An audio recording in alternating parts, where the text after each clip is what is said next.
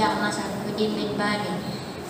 Nama sekolah saya ialah SK Kogis 0058. Hobi saya ialah membaca buku. Nama tajuk buku saya ialah Nabi Ismail dan Peristiwa Pengorbanan. Pada suatu hari Nabi Ibrahim berkahwin dengan Sarah. Malangnya mereka tidak mendapat anak. Nabi Ibrahim terus bermohon kepada Allah SWT supaya memberikan anak yang soleh. Sarah mencadangkan Nabi Ibrahim berkahwin dengan pembantunya iaitu Siti Hajar. Siti Hajar menolak pinangan itu kerana dia seorang pembantu. Dia tidak layak untuk berkahwin dengan Nabi Ibrahim. Si Sarah Sarah Sarah mendesak Siti Hajar untuk berkahwin dengan Nabi Ibrahim. Ya, Nabi Ibrahim pun berkahwin dengan Siti Hajar.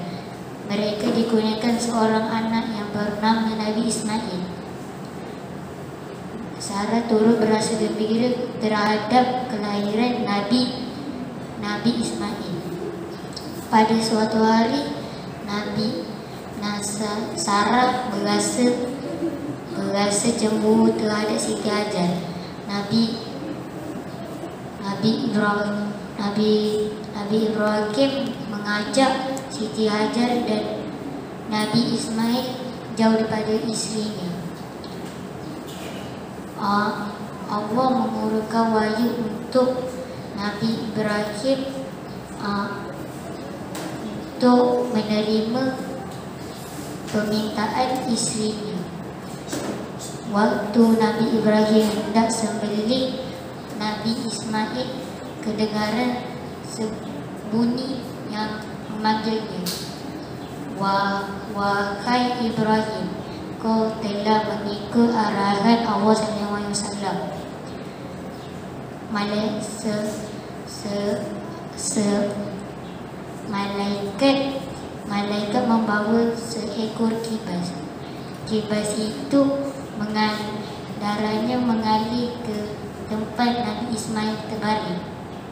Itulah caranya Allah membalas membalas membalas pengorbanan Nabi Ibrahim dan Nabi Ismail.